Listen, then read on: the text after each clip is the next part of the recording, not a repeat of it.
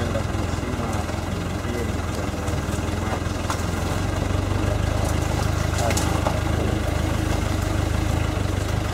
were heading for a giraffe, but then we found these. We haven't seen zebras yet. There's a warthog right there.